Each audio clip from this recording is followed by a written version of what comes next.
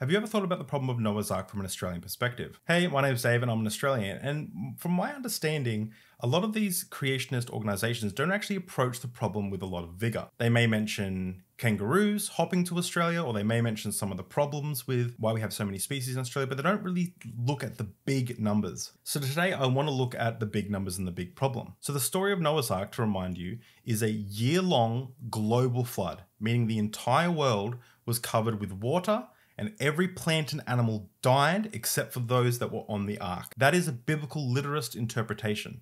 So I'm only addressing those who subscribe to a biblical literalist view. There are many Christians and many believers who do not subscribe to the stories of Noah's Ark as a literal thing. Those people I am not addressing in this conversation. I'm only addressing biblical literalists. So in Australia, as of 2009, we had approximately 21,171 different species of plants that were identified. We have 386 mammals in Australia. We have a total of 917 different species of reptiles and we have a total of 227 amphibia. So from the endemic species, meaning species that are only found in Australia, and excluding fish and excluding birds, we have approximately 19,607 species that are only found in Australia. Now, the Bible says that Noah's Ark came down after a year in Mount Ararat, which is in modern day Turkey. To reach Australia, as a minimum, two pairs of the 1,400 different species of land animals and 18,217 plant species would have to migrate roughly 11,500 kilometers from Mount Ararat through Turkey, Iran, Pakistan, India, Bangladesh, Myanmar, Thailand, Malaysia, Singapore, Indonesia before crossing a land bridge that has since disappeared. The problem is even bigger, however, because there are no plants left on Earth for any of the animals to eat.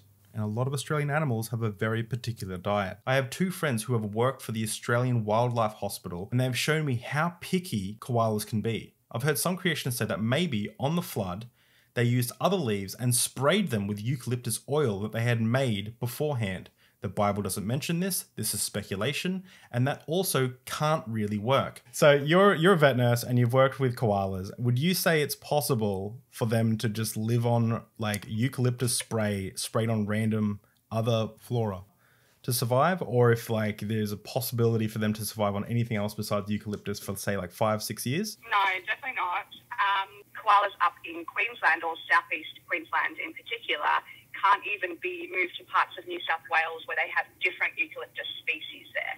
The koala would literally choose to die in the tree rather than eat a species of eucalyptus that they're not used to or their their body isn't used to. So even in southeast Queensland, when you release koalas, um, you have to release them within five kilometres of where they are found. So many different types of species and types of, and there's also different ages of eucalyptus leaves. So in a tree, you've got the older mature leaves that koalas will tend to eat if they're feeling sick or they've got um, certain digestive issues. But then you've got the really fresh, young, tippy leaves, so the new shoots that are coming through, and some koalas will prefer that. Um, so it's also got to do with their different where they're up to in their lifespan and if they're feeling sick, what sort of health issues they have, um, and they tend to self medicate on different types of eucalyptus. Wow, that's really interesting. Thanks for telling me that. That's really helpful to my video, actually. to imagine that they survived a year on an ark with no fresh flora and then crawled all the way to Australia and waited for eucalyptus trees to grow is an extreme stretch, especially because eucalyptus trees are trees. They take a long time to grow. Even if eucalyptus trees are fast growers, it would be years without their stable food.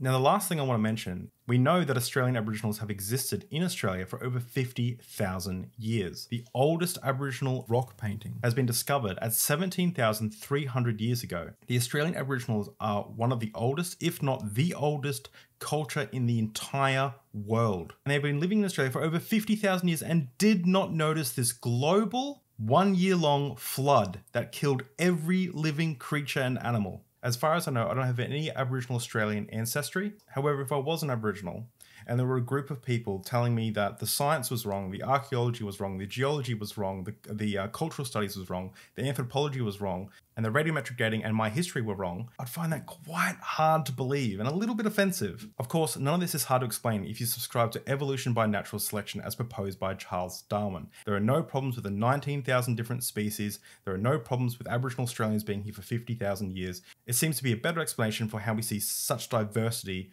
of flora and fauna in Australia. Now, if you are a Christian and you find these things to be challenging to your faith, I'd like to point you to a few resources in the description that actually try and explain the biblical narrative with the theory of evolution by natural selection. Despite what your pastor or priest may say, most Christians in the world accept the theory of evolution by natural selection. The evidence is quite clear, and if you would like to investigate these things, links are in the description. Thanks for watching, guys. Make sure you hit subscribe if you like videos like this, and I'll see you in the next one.